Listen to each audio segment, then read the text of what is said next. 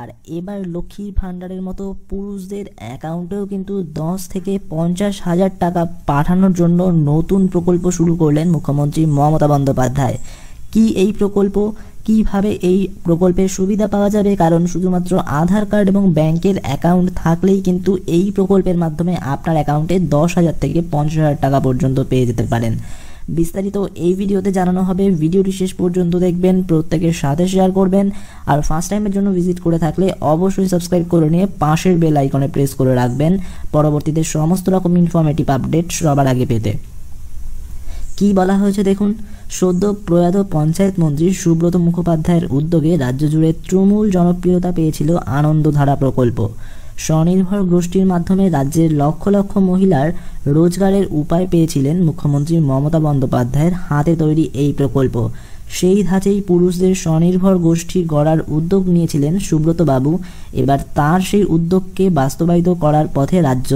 দপ্তরের কর্তাদের দাবি, পুরুষদের জন্য স্বনির্ভর গোষ্ঠী গড়ার উদ্যোগ দেশে এই প্রথম এবং স্বনির্ভর গোষ্ঠীর মতো করে পুরুষদের যে গ্রুপ বা গোষ্ঠী তৈরি হবে তা সরকারিভাবে প্রডিউসার্স গ্রুপ হিসেবে চিহ্নিত হবে। এই গ্রুপগুলি ছোট ছোট ব্যবসার কাজে নিযুক্ত থাকতে পারবে এবং সেই কাজেই সাহায্য করবে সরকার। ব্যবসার ব্যাপারে রাজ্য সরকারের একাধিক স্কিম বিভিন্ন দপ্তরে ছড়িয়ে ছিটিয়ে রয়েছে। সেই স্কিমগুলিকে এক ছাতার তলায় এনে পুরুষদের সুযোগ দেওয়া হবে।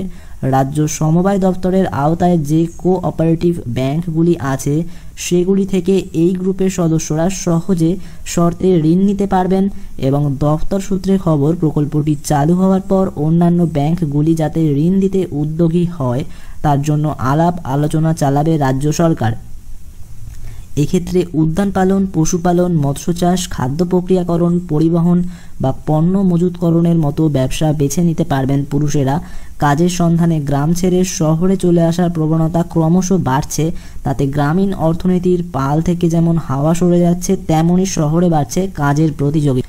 এই সমস্যা কাটাতেই পুরুষদের গোষ্ঠী তৈরির উদ্যোগ নিচ্ছে পঞ্চায়েত দপ্তর স্বনির্ভর গোষ্ঠীগুলি প্রতিটি সদস্যকেই আর্থিক দায় নিতে হবে, সেই কারণেই এগুলিকে জায়েন্ট লাইবিলিটি গ্রুপ বলা হয়।